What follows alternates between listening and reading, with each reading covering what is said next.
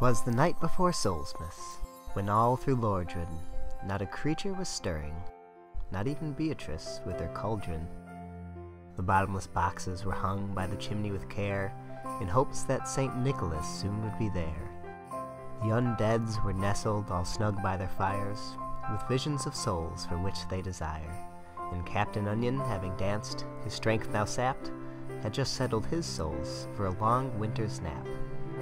When, out by the statue, there arose such a clatter, he sprang from his sleep to see what's the matter. Away to the phalanx he flew like a flash to see what had caused such a ground-shaking smash. With the phalanx dispatched and a prism stone below, it could only be one thing, it had to be so. And without a doubt, who should appear? St. Nick himself. A smile ear to ear. With such nimble hands and such a big stick, he knew without doubt it must be St. Nick. Christmas had died, but once again came. The Grinch could not stop it, much to his shame. And then, with a whirring, they heard by the door an undead of Lordran looking to score.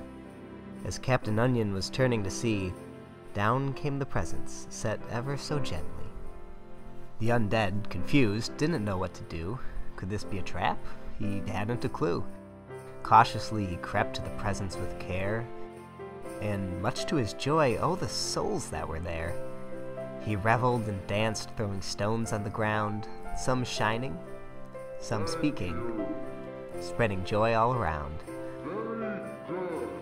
Such wonderful gifts Santa arranged, but soon the tone would be drastically changed. Like Lautrec before him, some undeads aren't nice, and greedy for more, he pulled out a knife. From an unarmed old man, humanity's free, he thought to himself, rather cruelly. But oh, what misfortune he'd have on that night, for in Dark Souls, even Santa can be quite a fright. Out from thin air, a huge club did appear to deliver a punishment quite severe. He tried to run, he tried to fight, but there's no solace for the naughty, not on this night. With a smash and a bash, the club swang through the air. He went back to the bonfire. It wasn't even fair. And so, my undeads, take heed of this tale, for it's the fate of all naughty undeads to fail.